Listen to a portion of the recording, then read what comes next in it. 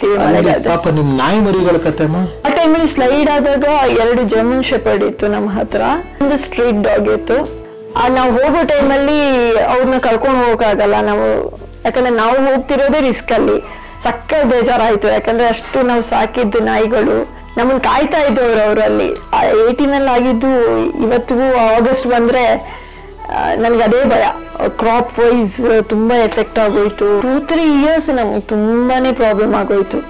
ಈಗ ನೀವು ಇಂಡಸ್ಟ್ರಿನಲ್ಲಿ ಯಾರ ಜೊತೆ ಸಂಪರ್ಕದಲ್ಲಿದ್ದೀರಾ? ಯಾರೇ ಕೇಳಿದ್ರು ನಾನು ಒಂದು ಹೇಳಿದ್ ನಾನು ಒಂದು ಮಡಿಕೇರಿಲಿ ಇದ್ದೀನಿ. ಇನ್ನೊಂದು ಮಕ್ಕಳ ಪ್ರಾಬ್ಲಮ್ ಅವ್ರನ್ನ ಅವ್ರ ರೆಸ್ಪಾನ್ಸಿಬಿಲಿಟಿ ಬೇರೆಯವ್ರಿಗೆ ಕೊಟ್ಟಿಲ್ಲ ಇಲ್ಲಿವರೆಗೂ. ನಿಮ್ಮ ಡ್ಯೂಟಿ ಮಾಡ್ತಿದಾರಲ್ಲ? ಸೂಪರ್ ನೀವು ಹಂಗೆ ಇರಿಮ್ಮ ಬದಲಾಗಲ್ಲ ಅಂತ ಮಾಡಬೇಕು ನೀವು ಹಂಗೆ ಇರಿ. ಬಟ್ ನಂಗೆ ಒಂದು ಸ್ಯಾಟಿಸ್ಫ್ಯಾಕ್ಷನ್ ಇದೆ ಸರ್ ಕರೆಕ್ಟ್